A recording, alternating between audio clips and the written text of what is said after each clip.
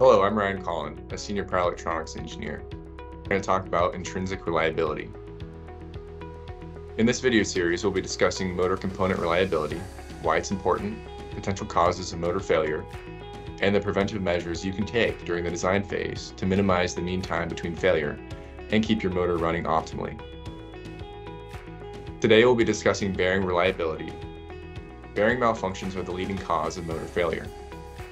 The bearing structure includes four key elements. First, the race. Most motor applications have the inner race rotating and the outer race fixed. Then there's the cage. The cage keeps the rolling elements separate so they don't collide while still allowing them to rotate freely.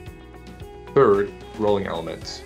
Typically balls or cylinders are the rolling elements used in the bearing structure. Finally, the seal. This offers protection against outside debris and helps keep the grease inside the bearing. The usual life rating for bearings in industrial applications is called the L10 life. Simply put, L10 life is a calculation to determine, with 90% reliability, how many hours a bearing will last under a given load and speed. Bearing reliability is very important. Failure can cause costly downtime, increases maintenance costs, and a high rate of failure can damage your brand's reputation. Failure in mission critical applications such as power plant cooling pumps or airflow data centers can be dangerous. Increasing bearing reliability is an essential part of enhancing the service life of motors. The life of a bearing is sensitive to three main points of failure. First, the bearing lubricant. Without proper lubrication, heat can degrade the bearing grease, and bearing balls are unable to move freely.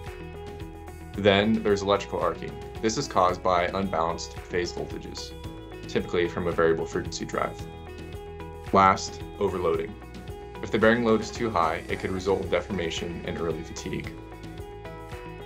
Infinitum goes beyond to take preventive measures to mitigate bearing failure throughout the design process. Infinitum uses steel bearings and steel races on all of our motors. Infinitum motors are kept cool through fan cooling, continuously monitoring motor thermals to prevent over temperature conditions, and optimal mechanical designs to pull heat out of the motor. We design and select our motor bearings with success in mind, using a hybrid 6200 series steel bearing or equivalent. We utilize grounding rings, and shaft brushes to eliminate shaft voltages that would damage bearings.